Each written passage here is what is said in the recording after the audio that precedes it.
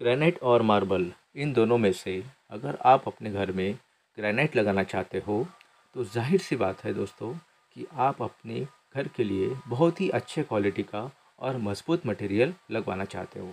पर दोस्तों, ज़रूरी ये नहीं है कि अगर आप ग्रेनाइट चूज़ करने वाले हो तो हर कोई ग्रेनाइट मज़बूत ही हो, या फिर आपकी जो ज़रूरतें है उस पर खरा उतरे। क्योंकि जब भी हम ग्रेनाइट परचेस करने जाते हैं तो ग्रेनाइट में बहुत सारी क्वालिटीज़ और ये होती है। तो ये आपको शुरुआत में पता नहीं होता है। अगर आप एक अच्छे क्वालिटी का ग्रेनाइट लेते हैं दोस्तों तो वो सालों साल चलेगा।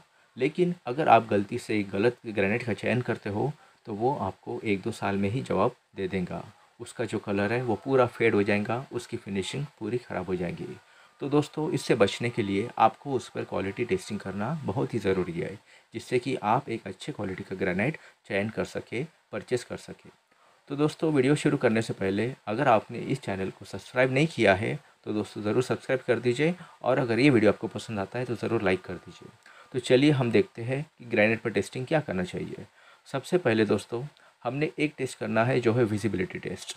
दोस्तों, जब भी आप आपके ज़रूरत के अनुसार ग्रेनाइट का चयन करना चाहते हो, चाहे वो हरा हो, काला हो, लाल हो वाइट हो तो कौन से भी टाइप का जब आप ग्रेनाइट लेना चाहते हो तो सबसे पहले आपने ये चीज़ देखना है कि उस पर जो पैटर्न है, वो कहीं ऐसे तो नहीं है कि पैटर्न कम ज़्यादा है। मतलब कि हर पीस अलग अलग हो सकता है। कुछ जगह पर पतले पैटर्न है, कुछ जगह पर डेंस है, कई जगह पर शेड्स अलग है। तो दोस्तों, एक ही ग्रेनाइट पीस पर अगर आपको अलग अलग लाइट शेड दिख रहे हैं, कई शेड आपको डार्क दिख रहे हैं, कुछ जगह पर आपको वाटर मास्क दिखते हैं तो दोस्तों, ऐसा आपने नहीं लेना है। जो आपने जो भी लाइंस होती है, जो भी पैटर्न होते हैं, जो भी बड़े छोटे स्पॉट्स होते हैं, वो बिल्कुल भी नहीं होने चाहिए। जो भी शीट आप लेने वाले हो, उस पर आपको एक ही तरह का पैटर्न दिखना चाहिए, साफ़ और सुथरा दिखना चाहिए। तो दोस्तों, इस तरह का ही आपने ग्रेनाइट लेना है कि जो विजिबिलिटी टेस्ट हम कर रहे हैं मतलब कि आपको जो ग्रेनाइट दिख रहा है, वो दिखने में काफ़ी अच्छा होना चाहिए उसमें किसी भी तरह का अंडुलेशन नहीं होना चाहिए, उस पर किसी भी तरह का खुरदलापन नहीं होना चाहिए, उसका शेड अच्छा होना चाहिए, उस पर किसी भी तरह का स्पॉट नहीं होना चाहिए। और एक बात दोस्तों जो अक्सर ही लोग नज़रअंदाज कर देते हैं कि जैसे जब आप ग्रेनाइट लेने जाते हो तो उस पर बहुत ही पतले पतले हेयर लाइन क्रैक्स होते हैं, जो आपको जल्दी से दिखते नहीं है। पर जब आप उसे गौर से देखते हो तो आपको पता चलता है कि वहाँ पर एक बहुत ही बारीक बारीक क्रैक्स है, उसे हम कहते हैं हेयर लाइन क्रैक्स वो क्रैक्स दोस्तों आगे चल के बढ़ने लगते हैं और वो शीट को आगे चल के तोड़ देते हैं। जब भी आप उस शीट को बिठाते हो तो वो शीट बहुत जल्दी टूट जाती है। अगली जो पॉइंट हम देखेंगे दोस्तों, वो है थिकनेस के बारे में। होता क्या है दोस्तों, जब आप ग्रेनाइट का इस्तेमाल करना चाहते हो तो उसका थिकनेस आपने ज़्यादा ही रखना ज़रूरी होता है। क्योंकि मार्केट में बहुत ही ज़्यादा वेराइटी के मार्बल ग्रेनाइट अवेलेबल होती है तो उसकी जो थिकनेस है वो अठारह से तो पच्चीस एम तक की वेरी करती जाती है। जितनी कम थिकनेस के आप मार ग्रेनाइट की शीट लोगे, वो बहुत ही जल्दी टूटने के चांसेस होता है। और उससे आपके पैसे पूरी तरह से वेस्ट हो जाते हैं। तो दोस्तों, कम से कम आप सत्रह से तो बीस एम का जो थिकनेस का ग्रेनाइट है, उसका इस्तेमाल कीजिए, जिससे आपके पैसे तो थोड़े ज़्यादा जाएँगे, लेकिन जो आप ग्रेनाइट लगा रहे हो, उसकी लाइफ काफ़ी ज़्यादा रहेगी। ठीक है? तो आपने याद रखना है कि आपने अच्छे थिकनेस का ग्रेनाइट लेना है। अगला टेस्ट है दोस्तों कलर टेस्ट जब भी आप दोस्तों ग्रेनाइट लेते हो तो सबसे पहले आपने जो देखना होता है, वो होता है कलर कलर के साथ साथ आप हमेशा पैटर्न पर ध्यान देते हो, लेकिन दोस्तों कलर बहुत ही इम्पोर्टेंट है। जितना भी पॉसिबल हो, आपने नेचुरल कलर पर ही ध्यान देना चाहिए।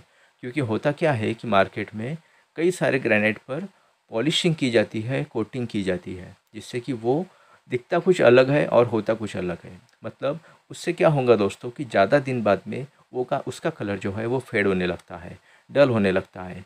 तो दोस्तों, आपने पूरी तरह ध्यान देना है कि आपने नेचुरल ग्रेनाइट कलर ही लेना है। आपने पॉलिश वाला ग्रेनाइट नहीं लेना है। जितना पॉसिबल हो, आपने नेचुरल कलर का ही ग्रेनाइट लेने का कोशिश करो दोस्तों। जो कलर आपको सामने से दिखता है, वही कलर आपको पीछे से भी दिखना चाहिए। मतलब अगर आपका ग्रेनाइट सामने से ज़्यादा कलरफुल दिखता है और पीछे से कम कलरफुल दिखता है तो वो ग्रेनाइट दोस्तों पॉलिश किया हुआ है। अगर पीछे का जो भाग है, वो उस पर थोड़ा पानी डालकर साफ़ कर लीजिए दोस्तों, जिससे कि आपको दिख जाएगा कि सामने का कलर और पीछे का कलर ये सेम है या नहीं, जिससे कि आप एक अच्छा कलर चूज़ करने में और रियल नेचुरल ग्रेनाइट चूज़ करने में आपको बहुत ही मदद होगी। तो पानी डालने के बाद आपको सच्चाई पता चल जाएगी। दूसरी टेस्ट ये है दोस्तों कि अगर आप किसी कपड़े को रॉकेल या पेट्रोल में डुबा कर उससे ग्रेनाइट को पोछते हो जो फ्रंट आए मतलब जो ऊपर का सरफेस है, उसे पोछते हो। तो अगर कोई कोटिंग होंगी उस पर, कोई कलर होगा, कोई केमिकल होगा तो वो उस कपड़े को लग जाएगा। मतलब आप समझ जाओगे कि उस ग्रेनाइट पर कोटिंग किया है, उस ग्रेनाइट पर कोट किया है जो कि नकली है। तो वो ग्रेनाइट आपने नहीं लेना है। अब अगला जो टेस्ट है दोस्तों, वो है स्क्रैच टेस्ट इसके लिए आप क्या कर सकते हैं दोस्तों कि आप या एक कोई सिक्का या कोई चाबी जो है, उससे ग्रेनाइट की जो ऊपर का सरफेस है, उस पर स्क्रैच करके देखिए, ठीक है? अगर उस पर बहुत ही ज़्यादा स्क्रैच आ रही है और वो आँखों से दिख रही है तो वो बिल्कुल भी मत लीजिएगा, क्योंकि जब हम ग्रेनाइट को किचन मटेरियल यूज़ करते हैं, कई सारे हमें काम करने पड़ते हैं तो जिससे स्क्रैच लग जाते हैं। तो दोस्तों, कुछ दिनों बाद में वो ग्रेनाइट का बहुत ही ख़राब लुक आने लगता है। तो दोस्तों, आपको ऐसा ग्रेनाइट लेना है, जिस पर आसानी से स्क्रैच ना गिरे, ठीक है? ये बात बहुत ही ज़रूरी है। वैसा ग्रेनाइट आपने बिल्कुल भी लेना नहीं है। उसे आप पूरी तरह अवॉइड कर दीजिए। जो ग्रेनाइट आप लेने वाले हो, वो स्क्रैच रजिस्टेंस होना बहुत ही ज़रूरी है। अब जो नेक्स्ट टेस्ट है दोस्तों, वो है एसिड टेस्ट जैसे कि आपको पता है दोस्तों कि हम ग्रेनाइट का इस्तेमाल आप किचन में करते हो। किचन में अलग अलग तरह का पकवान बनता है। तो अगर किसी भी तरह का पकवान अगर हमारा ग्रेनाइट पे गिरता है तो उस पर काफ़ी ज़्यादा पैचेस गिरा सकता है। तो दोस्तों, आपने ये काम करना है कि आपने जो नींबू का रस होता है, उसे उस ग्रेनेड पर डाल के देखना है और उसका रिएक्शन क्या होता है, उसे ऑब्ज़र्व करना है। अगर आपको दुकानदार ग्रेनेड पे ये टेस्ट परफॉर्म नहीं करने दे रहा है तो थोड़ा सा टुकड़ा घर पर लेके आइए दोस्तों और उस पर वो टेस्ट कीजिए। क्योंकि ये बहुत बड़ी बात है दोस्तों कि आप जो भी ग्रेनेड लेने वाले हो, वो सालों साल चलने वाला है। तो उस सैंपल को आप घर पे लेके आइए और उस पर, उस टेस्ट को परफॉर्म कीजिए, जिससे कि आपको पता चलेगा कि एसिडिक फ़ूड का उस पर क्या प्रभाव गिरता है। तो दोस्तों, ये अपनी बेसिक टेस्ट है, जो हमने किया है, जिससे आपको पता चलेगा कि ग्रेनेड पर किस तरह के परिणाम होने वाला है, उसकी क्वालिटी क्या है। और एक दोस्तों, बात यह है कि अगर आप उस पर वाटर कट करते हो तो उस पर भी आप काफ़ी कुछ टेस्ट कर सकते हो।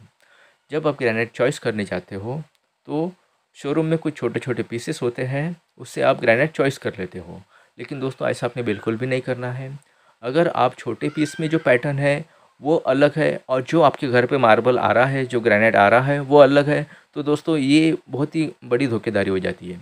इसीलिए कभी भी आपने शोरूम में जो बड़े बड़े पीसेस होते हैं, उसे ही देखना है छोटे छोटे पीसेस को नहीं देखना है, ठीक है? जिससे कि आपको पता चल जाएगा कि ये ग्रेनाइट का पैटर्न कैसा बनने वाला है। और जनरली ये बात होती है कि जो भी लोग ग्रेनाइट परचेस करने जाते हैं तो उन्हें साइट पर ले जाया जाता है, उसे कटिंग की जाती है और उसके बाद में इसका इस्तेमाल किया जाता है। ठीक है? जैसे कि हम विंडोज़ फ्रेम के लिए करते हैं, डोर डोर फ्रेम के लिए करते हैं। तो इस तरह से आपको उसे देखना ज़रूरी होता है। जब दुकानदार को आप डायरेक्ट कटिंग के लिए मेज़रमेंट देते हो तो आप अपनी ज़रूरत के अनुसार उसे बताइए। ठीक है? तो उससे आपका फ़ायदा क्या होगा दोस्तों? कि अगर आपको छोटी सी जगह में ग्रेनाइट लगाना है तो आप उसे साइज़ बता दीजिए, जिससे कि वो आपके रिक्वायरमेंट के अकॉर्डिंग कटिंग करके ग्रेनाइट देंगे। तो उससे आपके पैसे भले ही थोड़े से दुकानदार को ज़्यादा जाते हैं, लेकिन ओवरऑल अगर आप बड़ी शीट लेने जाते हो तो उसके मुकाबले आपकी पैसे कम जाते हैं। और जितना ज़रूरत है, उतना ही मटेरियल आपको मिलेगा तो वेस्टेज भी नहीं होता है। और अगर आपकी साइट बड़ी है तो आपने क्या करना है कि बड़े बड़े पीसेस को ही लेना है, जिससे कि आपको, आपके घर में बहुत ज़्यादा ग्रेनाइट लगने वाला है तो हम लगा सकते हैं। और आपको किफ़ायतशीर भी रहेगा। जब आप कटिंग करते हैं दोस्तों तो ऐसे वक्त में वेस्टेज होने का चांसेस बहुत ज़्यादा होता है। और कटिंग में वेस्टेज मतलब आपके पैसे भी वेस्ट हो रहे हैं। तो इस तरफ़ आपने ध्यान देना है कि जितना ज़रूरी है, उतना ही ग्रेनाइट आप लेकर आइए कटिंग करिए, जिससे कि आपके पैसों का बचत होगी। अब आखिरी बात दोस्तों, जो इम्पोर्टेंट भाई मैं आपको बताने वाला हूँ कि जब भी आप ग्रेनेट लेते हो दोस्तों तो आपने एक दो दुकान में ज़रूर जाना है, वहाँ पर रेट का इंक्वायरी करना है, क्योंकि रेट में वेरिएशन होने का चांसेस बहुत ज़्यादा होता है। क्योंकि जो थोड़े बहुत पैटर्न्स कम ज़्यादा होते हैं, उसकी वजह से रेट में भी कम ज़्यादा परिणाम होता है। ठीक है? तो आपने कम से कम थिकनेस नहीं लेनी है, इस बात पर भी ध्यान देना होता है। ठीक है? कि अगर आप बहुत ही बारीक वाला शीट लेने जाओगे तो वो आपको कभी भी लॉन्ग टाइम नहीं चलेगा। तो भले ही कलर सेम है पैटर्न सेम है, लेकिन थिकनेस कम है तो भी प्राइस आपको कम मिल सकती है। तो हमेशा कीमत की तरफ़ मत देखिएगा। रेट होना चाहिए, लेकिन क्वालिटी भी हमें अच्छी मिलनी चाहिए। ठीक है दोस्तों तो ज़्यादा से ज़्यादा दुकान पर जाइएगा और क्वालिटी चेक कीजिएगा और उसके बाद ही आपको जो कलर पसंद है, उसे आप लीजिएगा। ठीक है?